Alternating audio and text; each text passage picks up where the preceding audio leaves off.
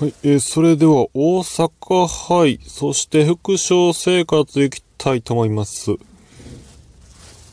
はい、えー、その前にですね、はい、えー、勝手に勝負レースを、ゆうすけさん、朝、あるいは一くらめ頑張ってください言ってたんですけど、えー、今日午前中レース、え5着、4着、4着ですね。ちょっと惜しいですよ、これ。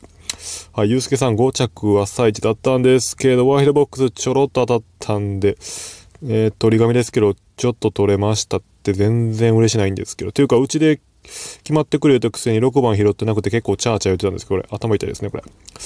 あっちゃっぽーと思って、6来るんかいと思って、1、2、3、5拾って6拾ってないんで、あっちゃっぱやってしまいました。はい、ダービー今日ですね。これは問題やね。えー、田辺さんどうしたでしょうか？グレタロンドン後発だったんですけど、えロスなく打ち回って打ちついてる場合じゃないんですいません。5着までですかこれ。外回してください言ってたんですけど、回してません。これ終わった、これ。はい、えー、その上外回しました。ヒーズインラブ。1着、藤岡 KT さんが買いません言ってましたけど、来ました。すいませんでした。はい、ミナリクさん見せどころってことだったんですけど、馬がレベル足りてなくってごめんなさいですね。これ、ワイド、えー、キャンベルジュニアと取ったんで、ちょろっとだけ、だいぶ取り紙です。はい、副所生活、ダービー今日終わった後見ました。もう田辺さんぐらい頼んでやらかしたし、今日全然あかんしと思ったら最後もダメ !5 着あっちゃ、またここも5着これ。あっちゃパートで、ゆうすけ5着やし、グレータロンド5着やし、さらに、噛んだ。ラセニアって誰？サーが抜けてますよ、これ。あれ、サーが抜けた。サラセニアも5着全員5着これ。終わった、これ。佐野サマでよかったです、これ。素直に佐野サマやった、これ。はあ、スタート悪なかったのに下げた瞬間終わったなと思ったら、しかも佐野様の後ろつけて何してんやろ、この子と思ったらね。何してるんですか、田辺さんと思ったら、ほんま何してたんや、これ。終始何してたんやと怒ってた、これ。終わりました。ありがとうございました。はい、それでは出走表記理解できましょうか。レッチェゴー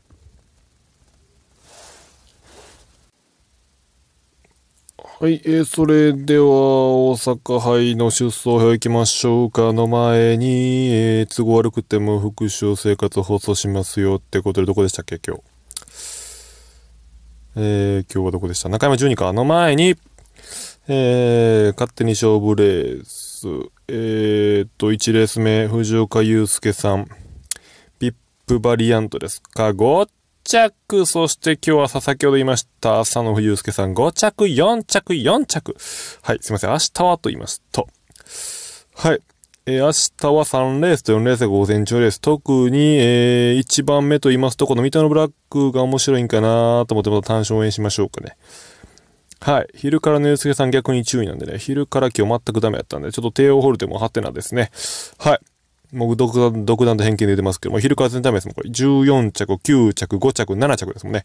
やはり、浅野祐介さんを頑張って買い続けましょうということで、明日、ミトのブラックよろしくお願いします。はい。で、今日この馬が5着やったんと、え今日は散々でしたね。ダービー今日の本命、グレーターロンドンも、はい、打ちついてもうて5着。そして、えー副賞生活。はい。もう泣きそうです。田辺さん。あれは、ダービー卿でやってもうたと思って。何までしたっけ ?4 番サラセニアですね。サマー、そのサマーと迷ってて、結局サラセニアできますって言って4番。スタートまだまだ良かったんですけど、えー出していったら面白いよ、うちは悔しいって言ってたんですけど、まさかの下げるっていう、あれ、りゃーと思って。あれ、下げましたか？と思って。どこまで下げるの？と思って。まあ、ここら辺にね、2番の後ろぐらいおったら面白いなと思ったんですけど、いない。あれれれら、4番の青棒どこ行ったんですか？と思ったんですから、おれへんと思って。うん、まさかの後方競馬待ってください。誰がその競馬しろって言いましたか？何してん？と思って。おい、佐野サマーより後ろの競馬聞いてないで、と思って。まさかの佐野様の打ちつけた競馬ですか？えー、佐野様をマークする形に入りましたね。これ、田辺さん何してん？と思って。すいません、その競馬覗せないんですよね。前みたいに前目つけてねばねばしてください。うちは悔しロスなく言ってください。言ったんですけど、全然ダメですよ、これ。向こう上面回りますけど、まだ動きません。動きがありません。はい。いや、消えましたね。今来ましたね。4番ちょっと押してますわ。もう遅いですよ。時すでに遅しよ、これ。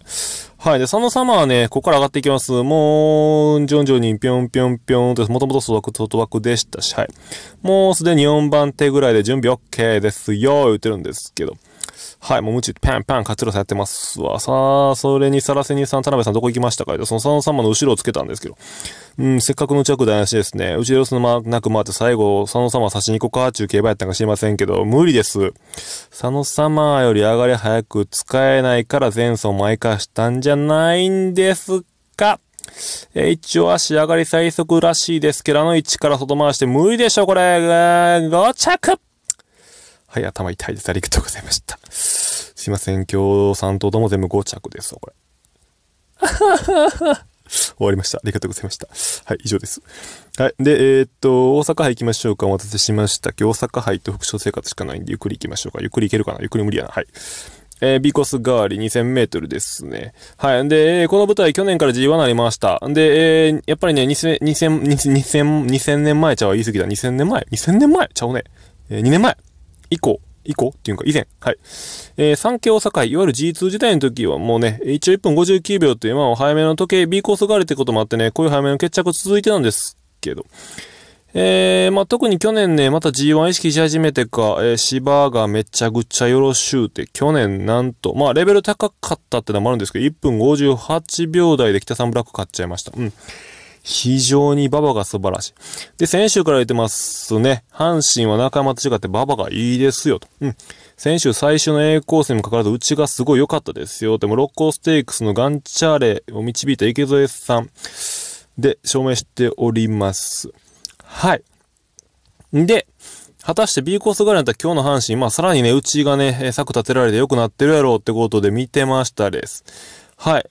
で、参考にしたレースは一応4歳以上500万、こちらが2000メートル内回り使われるので、こちらのレースを参考にしました、ざっくり。そしたら、なんと4歳の500万クラスで、なんと2分を切っちゃうレースでした。はい。1着1分59秒5ですわ。まあ、全体ね、ちょっと前が引っ張られたのもあるんですけど、前半59秒。まあ、それでもですね、後半1分台で帰ってこれる。1分弱ですよね。これ、時計クソ早なりますわ、明日。うん。ということは、え、読み通りは言い過ぎやけど、お望み通りって言うんですかね、これ。はい。この早い時計決着に対応できるのは、中と、はい。もう、事後調査から言ってます。はい。去年の皐月賞、超高速決着の3と、もうこれで決まってください。はい。今年も秋音歳が強いのも証明されてます、ずっとね。頑張ってください。もう言うことありません。R ワイン、ペルシャナイト、ダンビラでもその順位はこれ。ちょうどその順位でも終わりました。ありがとうございます。説明以上です。はい。佐藤ダイヤモンドスはリチャード、えー、別に絡んでも全然おかしくないんですけど。まあ、どっちかというとこの馬たちベスト2400のがベストだと思ってますね。はい。えー、前走見る限り佐藤内も休み明けでしたけど、やっぱね、エンジンかかり具合とか見てるとやっぱ24のがベストかな。スワーブリチャード2000こなせんことないけど、やはりベストは左回り。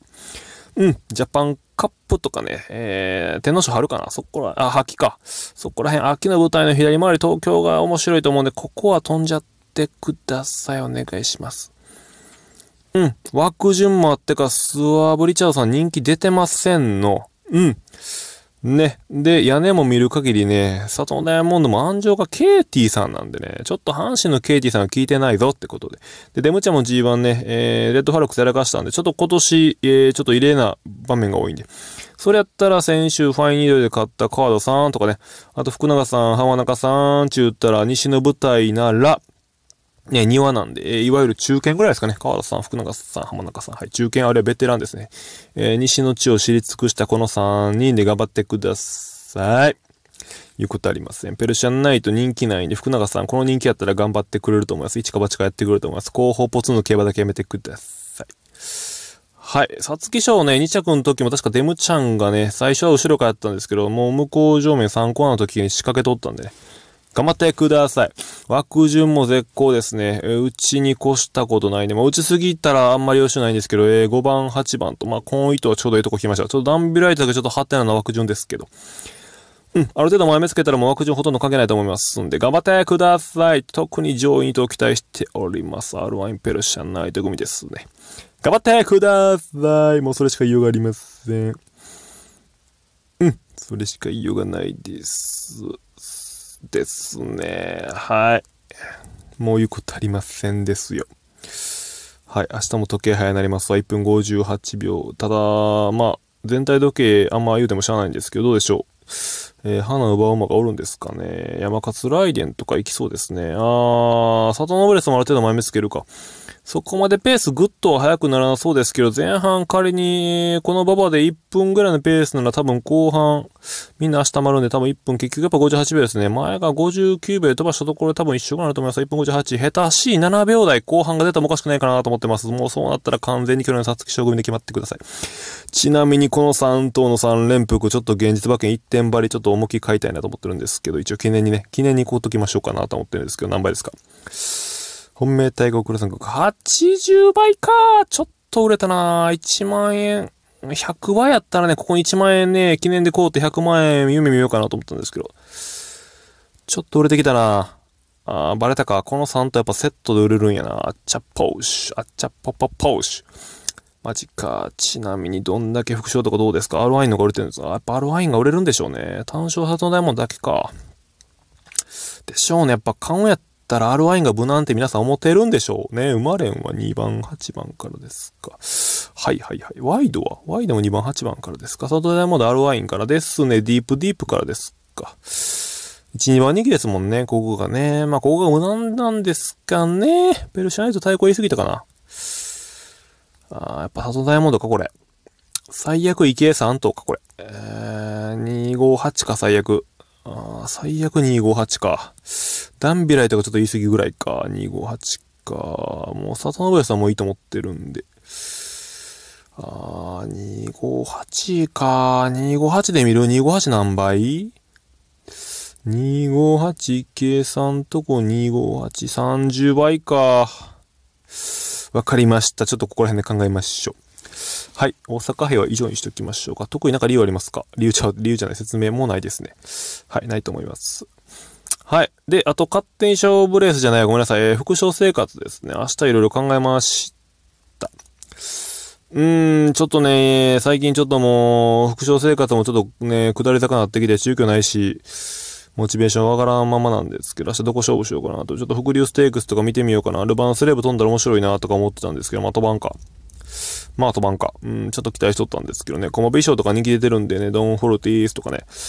はい。えー、中山ダート1008に勝している、えー、若宮王子とか面白そうなんですけど、ここ副賞こうたら面白いんかなと思って。えー、ただですね、1.5倍絡んで副賞。まあ、コマビショーとかロマンスレーブ飛んだら2倍ぐらいつくんですけど、そんな若宮王子ですらに、えー、も見ないなと思ってやめとこうと思って。うん、で、他考えたんですね。うん、考えてました。。えー、あと、藤岡祐介さんの朝一。でも、副賞生活候補の一点張り1万円ちょっとやりすぎやなと、水戸のブラックですか。さすがにそれやりすぎやな。やめときましょうと思って。結局ね、御堂筋戻ります。はい。結局ここに戻ります。もう行きますわ、もう。はい。もう、初子貫徹。えー、今回は期待ほとんどしないでください。もうすでに今日のね、えー、もう、サラセニア5着でも答えてるんですけど、人気馬拾ってそれで答えてるんですけども、このままでいきましょう。はい。鈴鹿ビスタでいきますわ。1万円。やけですわ。これもやけクソですわ。クソクソや、これ。えいクソや。何倍や、これ。3.5倍しかつきませんか。クソやしやな、これ。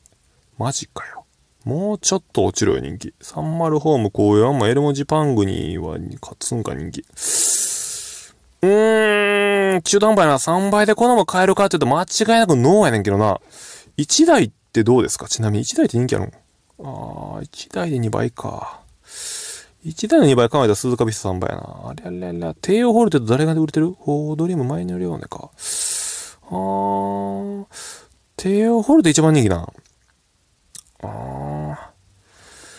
帝王ホルテが一番人気になるぐらいやったら、多分大し、言い方失礼が多分大したことないメンバーやねんろね。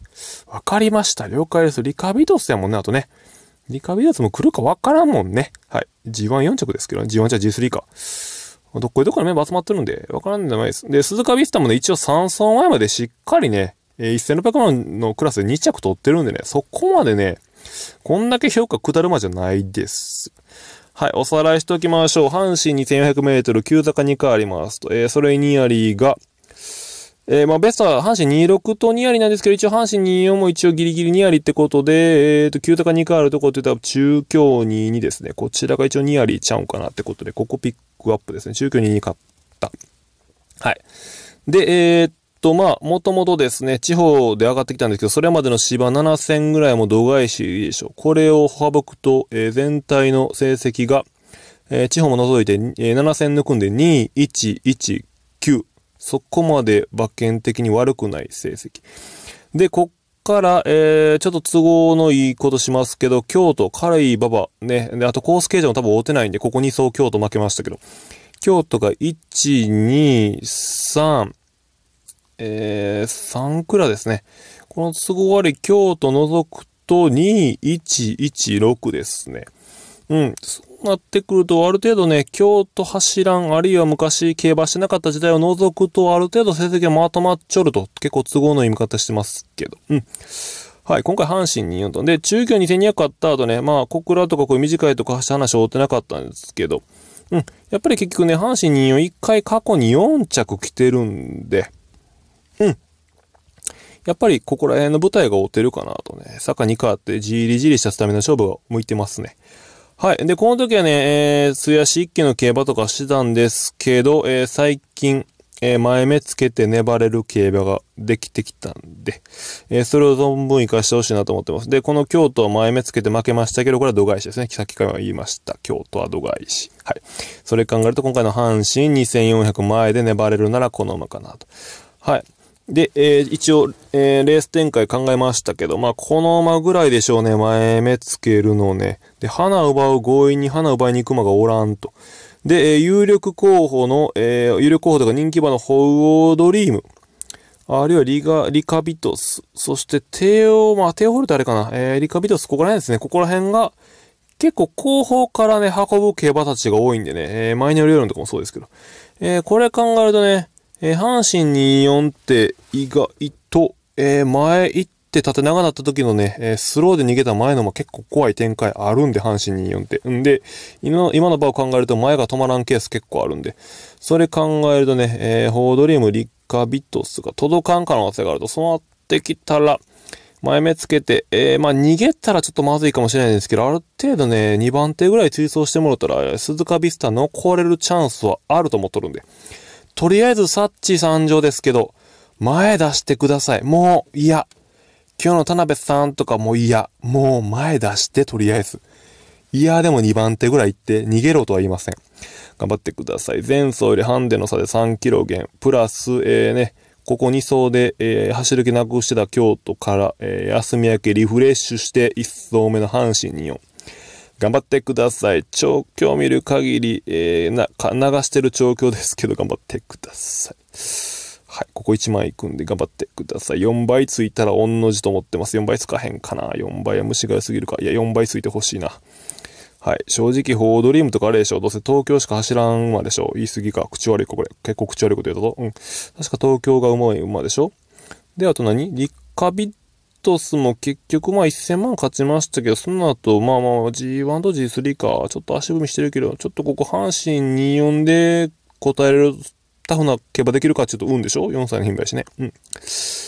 頑張ってください。帝王ホルテもちょっとね、前走強い内容でしたけど、まだ条件上がりやしね、藤岡祐介さん一番人気で答えるかちょっと運やね、藤岡祐介さんやっぱ朝一頑張ってください言ってるんで。